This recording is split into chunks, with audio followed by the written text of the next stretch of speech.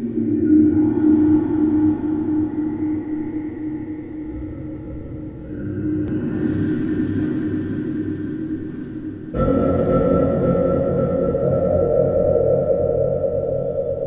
we are going to see Nosferatu. It's the first um, Dracula film, and I am going to make the story alive.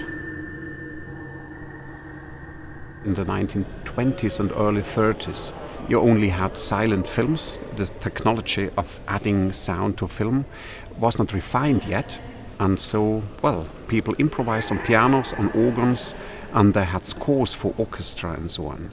So I'm making music to the film like in former times. And then I will continue the romantic scene, well, with the eight foot stops and so on.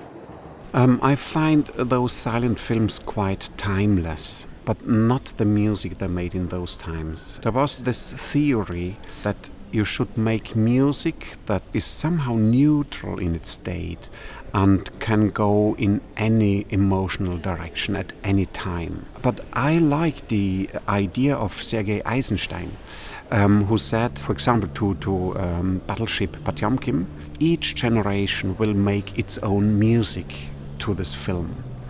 And um, I think that's the right way, uh, not to make of some sort of a his historic performance, but make the story alive uh, in, in our days.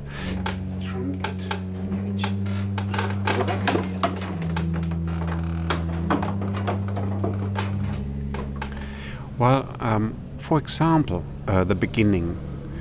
Um, yesterday we, we did a rehearsal and I started quite fiercely with the loud sound. Right now, I'm thinking of starting the film very silent and, and very eerie.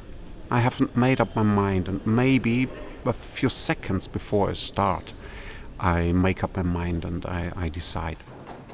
Okay, I just decided I will start quite loud.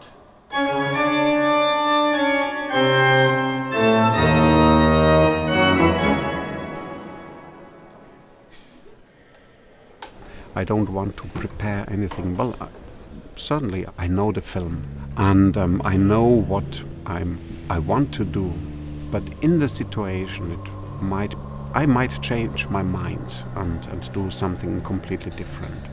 So um, I always try to get inspired um, by the pictures and by the mood.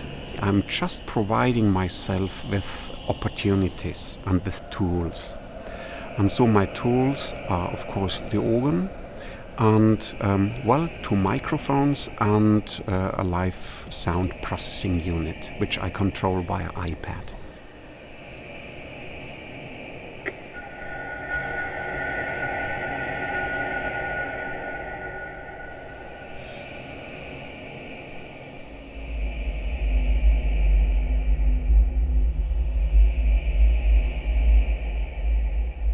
You see, we are living in the 21st century, and um, uh, we experienced uh, noise music. Uh, we know the theories of Luigi Russolo. We have, we have experienced musique concrète and, and so on.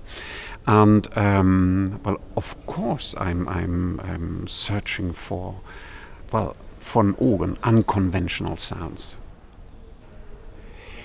Well, certainly that's that's another experience in, in such a beautiful church nearly at midnight with this huge organ. Yeah.